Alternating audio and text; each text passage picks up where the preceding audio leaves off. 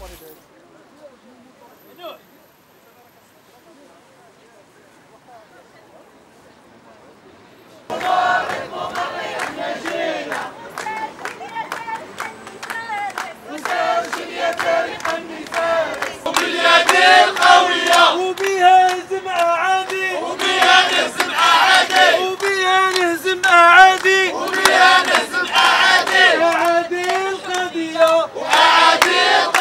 هذه الوقفة جات بعد البيان الوطني للنقابة المستقلة للممرضين وتقنية الصحة من أجل الاحتجاج في كامل ربوع المملكة أمام المديريات الجهوية للصحة.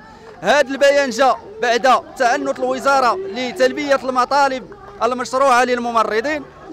هذه المطالب المطالب يعني كاينة بزاف يعني من المطلب اللي هو متكامل اللي كبير والمطلب الأساسي اللي, اللي, اللي الآن مستعجل هو الرفع من الأجر الثابت للممرضين وتقنيي الصحة عبر عبر عبر ثلاثة ديال الطرق. الأمر الأول هو التعويض عن الأخطار المهنية. فكيف يعقل أن لديك داخل المستشفيات. بعض الفئات يتقاضون التعويض عن الأخطار المهنية الذي يصل إلى 4000 درهم والممرض يتقاضى هذا التعويض عن الأجر التعويض عن الأخطار المهنية قليل جدا فراه لا يمكن. الخطر واحد ويجب التعويض كذلك أن يكون واحد. الأمر الثاني هو التعويض عن الاعباء التمريضية. راه كما كنعرفوا عندك 36000 36 مليون مواطن مغربي وعندك 36 ألف ممرض. يعني واحد الأعباء اللي هي كبيرة. الخصاص يقدر ب 60000 يعني هاد 36000 اللي عندك داخل المستشفيات تقوم بالعمل ديال 60000 حسب يعني وهذا راه مازال ما وصلنا للموين اللي كت... اللي كتحدوا المنظومة العالمية الصحه الحاجة الثانية هو التعويض عن التأطير.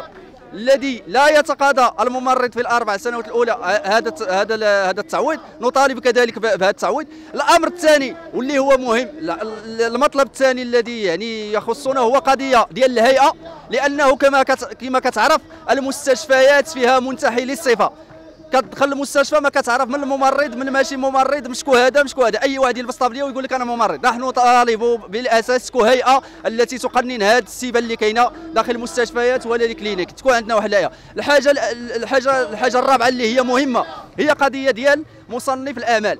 نعرف أنا اخويا خدمتي شنو هي؟ انت كصحافي عارف خدمتك شنو هي؟ حنا ما عندناش واحد القانون باش نعرف ها ليطاج ديالي شنو هي خدمتي. فين كتبدا خدمتي؟ فين كتسالى؟ هنا ما كايناش. حنا كنطالبوا بالاساس اخراج هذا المصنف ونكونوا عارفين حنا الخدمة ديالنا شنو هي. وجينا واحتجينا من كل مدينة جينا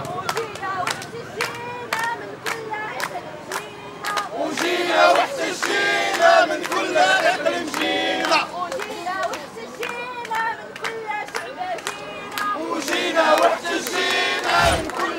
وجينا